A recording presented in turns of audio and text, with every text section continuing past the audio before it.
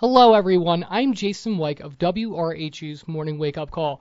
Today I am joined by the renowned Dr. Eduardo Duarte to talk about his public lecture for the Center for Race, Culture, and Social Justice. This area is located in 203 Roosevelt Hall with their director, Dr. Jonathan Lightfoot, and associate director, Dr. Veronica Lippincott. His lecture will take place on Tuesday, February 14th from 2:40 to 4:05. This lecture is a result of the work that made you a, a, recipient of the Faculty Summer Research Grant. So, to start us off, could you tell the listeners about how you were able to do the work that led to this honor? Well, thanks for having me on. Um, well, first, I want to acknowledge that I'm here in WRHU, Studio North, where I have recorded many, many dead zones because not only am I uh, Professor Eduardo Duarte, but I'm also Professor Iguana host of the Dead Zone here on WRHU, Sundays 6 to 8 p.m. EST. And so the reason I'm bringing that up is because this project that I'm going to be presenting uh, through W.E.B. Du Bois actually has a long history that goes back to the work I've been doing in part here at WRHU on the Dead Zone, a project that I generally call cultural education through music. Uh, in some ways, you could say it's a countercultural educational project because I'm sort of exploring the alternative ways that we can think about who we are as a community, specifically who we are as Americans. And so, of course, Du Bois is posing that challenge to us. He's posing the challenge in a book that is actually 120 years old in one day on the day that we're recording this. He finished it on February the 1st, 1903. And so I've been working on this project for quite a while. That is to say, the relationship between uh, music and cultural education. You know, how does music form us? How does music inform us? How does music reveal things about who we are, both as individuals, as a community? How does music uh, present itself in a therapeutic way, as a kind of healing? How does music present itself in a spiritual way? And that's very much related to Du Bois. His uh, o- uh, magnum opus that I'll be presenting on is called The Souls of Black Folk. So there's a important spiritual component to that work. And also, how is music prophetic? Again, that's also something that I take up in Du Bois. So, when he asked the general question, how did I get into this project? Well, I've been in it for a while. I, I feel like I've been doing this project my whole life because I've been sort of captivated by music uh, my entire life. But this specific talk that I'll be giving on Valentine's Day um, is the result of research that I have been doing and have been getting support from the Center for Race, Culture, and Social Justice. And the title of the paper is W.E.B. Du Bois and the Aesthetic Education Offered by Music. So one of the main pieces that you'll be talking about in there is the souls of black folk, as you just mentioned by W.E.B. Du Bois, and this is considered to be one of the most important pieces in African American history. So why do you think that this work was able to gain so much traction and why it is so monumental? Well, it's interesting um, that you should ask that because at the time um, that Du Bois, well, Du Bois, the work itself is a collection of essays that Du Bois uh, had written in the 1890s. And so, if you sort of go back in your uh, memory and you know, sort of like a historical thinking cap, you put that on. Um, just imagine what America was like in, during Reconstruction, right? Um, the sort of promise and hope, and then to a certain degree, the failure of Reconstruction, right? So a lot of Du Bois' essays in the 1890s um, are are exploring both a hope, but also sort of like a, a, a, hard look at the failures of Reconstruction, specifically a lot of the violence um, that had been uh, imposed in the South um, on uh, uh, African Americans, specifically um, lynching and other ways of, of suppressing and oppressing um, through violent means often. And so Du Bois is reflecting on that and writing that, and his counterpart at the time was someone that you probably recall was Booker T. Washington and he had become very famous um, by sort of encouraging this notion um, that black folks should sort of you know get practical education and should commit themselves to business enterprises and he was getting a lot of support from the sort of status quo um, from the, the status quo white uh, community, uh, white power brokers. And so Du Bois, in some ways, is responding to that. And for many, his work, The Souls of Black Folk, uh, was a sort of correction and, and an important positive alternative to the vision that was offered by Booker T. Washington. Because for Du Bois, he took seriously uh, the possibilities of education that was, we would argue, in, in coming through the liberal arts, perhaps we could describe it that way. A university that was built upon uh, the arts, upon the liberal arts, upon thinking. He's very much influenced by the education he received not only at Harvard, but his time that he spent at the University of Berlin. And when the work came out, it was sort of a, an immediate sort of sensation, and it was, you know, criticized by those white power brokers that I mentioned earlier that were sort of behind Booker T. Washington's vision, but very much taken up by the black community.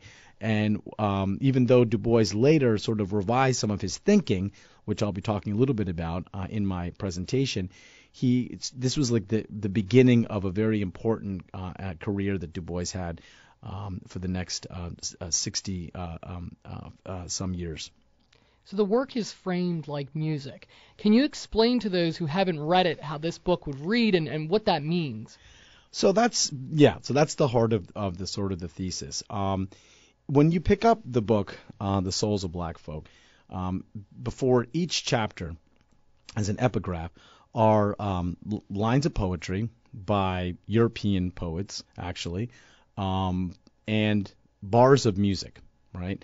And the bars of music come from important spirituals. And what Du Bois uh, is trying to do there, I would argue, and that's kind of the heart of my paper, is to sort of frame our reading. So as it's almost like a, um, uh, you're walking through a threshold, a musical threshold, and there's there's like a soundtrack, if you will, to each chapter and to the whole book. So just imagine as you're so there's a there's a lot of things going on there. One you could argue is a sort of proto uh, uh, sort of soundtrack cinematography sort of thing, right? So if you think about how film took on sound and music became so important in film, there's a way in which the Souls of Black Folk in 1903 is already anticipating this notion of a soundtrack. So one way to think about it is as a soundtrack. The other way to think about it is that he is presenting before each chapter important examples of the sort of genius of the African American spirit, right? So the the soul of of, of black folks um, is very much expressed through these spirituals. Now, you probably know the spirituals come out of a tradition that began on the plantation, right? It's the songs of, of slaves, right? It's their way of, of, of reaffirming and emphasizing and expressing their humanity, right? It's there's a lot more to it, of course, uh, than that, but that's at the core of it. Is the sense of um, expressing of one's humanity. So Du Bois, by placing this music before each chapter, is allowing us uh, the book to resound with the spirit and the soul of African American humanity, the claim of their humanity, and he's sort of uh, compelling his readers to hear that expression of humanity, to hear that expression of um, um, the the exclamation of freedom, right, and and the joy and the promise that's to come with freedom. So that's uh, an important sort of notion of of why the music is placed in each chapter. He's also teaching us of the, I would argue, um, the importance of taking seriously the arts as a way of thinking about uh, the human experience. Right. So he had. Um, a very strong background in social science. He was he taught economics when he was at Atlanta University, where he was when he uh, published this work, The Souls of Black Folk. He also taught history, but he realized that there you couldn't tell the truth, quote unquote, solely by science or social science. The arts had a prominent role to play in revealing and illuminating the truth, the truth of the human experience. So I think that by placing music and poetry at the beginning of each chapter, he's really emphasizing the power of the arts. And I, am going to argue that for him, the arts are most powerful and actually more powerful than science. So you discussed the importance of you know that that expression and the human experience. And in your research you talk about aesthetic education offered by music. So how would this differ from standard education? That's a great question. So aesthetic education has this sort of long tradition. And in fact one of the uh, uh, folks that he quotes in uh, the souls of black folk one of, one of the epigraphs comes from uh, uh, schiller who was an important german romantic thinker and also um, an educational sort of reformer. He founded the uh, University of Berlin. And Schiller was known um, for presenting this notion of aesthetic education as um, reason being uh, um, sort of developed through the emotion. So the relationship between reasoning, if you will, rationality, and the emotion. So the arts help us um, sort of form into uh, a, a, kind of person that has an, a sensibility that is balanced with the emotional side and the rational side. Now, so an aesthetic education really is it's it's a complicated endeavor um, because it presumes that when we are interacting or experiencing, it's better to put it as an experiencing works of art, such as music, but not only music, dance, arts, literature, poetry. When we have the aesthetic experience, there is some kind of transformation that is possible, right? And so an aesthetic education presumes that the human person um, is more whole or more complete when they've encountered the arts. Why? Because the arts, those of us that are into aesthetic education would argue are the highest form of human expression. Why is that? Because it comes from our capacity to create. It comes from our ability to be free. So human freedom and human creativity if you if you understand this, is at the at the core of who we are as humans. So to become more fully human, one has to experience the arts. So in aesthetic education, if we can be so audacious and bold as to say it, really is about completing the formation of our human being. It also connects us to one another. Um, when I'm encountering a work of art, I'm not simply encountering the work of art, I'm also encountering the artist, the person who who created that or who is creating it or the people that are creating it. In the case of let's say a jazz ensemble or a symphony or a dance troupe or a theater troupe right? I'm connecting with their humanity. And so we're collectively sort of coming together as human beings. We're also connecting with the past insofar as what we are uh, experiencing is something that has been created and is an expression of a past time a past moment so we kind of get a cultural education, a sort of straightforward way of learning more about some kind of historical event, some period in time. And then lastly, an aesthetic education is also sort of projecting us towards the future. Because the argument is that the work of art is something that is the result of something that's new. It's it's the it's the product of our ability to create and to make new things. And that sort of inspires us to think towards the future as something that could be different than the past or even the present. So the aesthetic education sort of includes all of those things, and there's a lot that we can really explore when we think about how the arts forms us both as individuals and the community.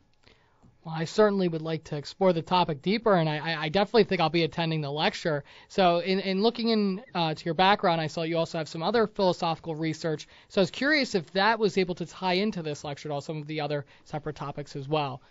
Yeah, absolutely. I'm, i appreciate that question because uh, one of the things I'm going to do in the lecture is I'm going to pivot um, to some of the work that I've been doing for a long time on listening. And so uh, Du Bois doesn't do a whole lot with listening. I mean, you could argue he presumes that his reader um, can listen to music or is able to listen. But listening is a complicated phenomenon. It's different than hearing. You know, listening is a much deeper sense of receiving that which is arriving to us in sound. So it's a sonic experience, but it's also, as I will argue, through the work of the French philosopher Jean Luc Nancy, listening involves our sort of setting aside our own sort of ego, our own identity, and just letting the sound and the music sort of permeate us. So I'm going to be focusing a lot on my research on the French philosopher Jean-Luc Nancy as a way of deepening my exploration and the work I've been doing on Du Bois on the aesthetic education because you really can't have an aesthetic education through music if you don't understand um, what listening is about and the kind of listening that will allow us to have a deep aesthetic experience. So I'll be looking at that and exploring that and bringing that part of my research into the presentation. So it's quite obvious you have a passion for music. Where did this passion come from?